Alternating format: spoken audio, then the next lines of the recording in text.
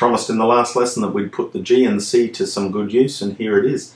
Uh, you remember that earlier on we had our E, A, and D, and we, we just changed around in a, in a circle. We went E, A, D, E, A, D, E, A, D, just going around and around to practice your strumming.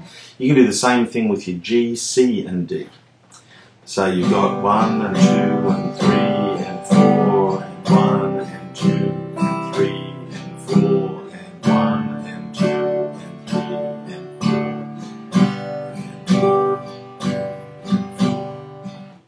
Very simply. So this is going to be a relatively short lesson. I just want you to practice the same sort of thing that you did with the E, A and D. Now you're doing G, C and D.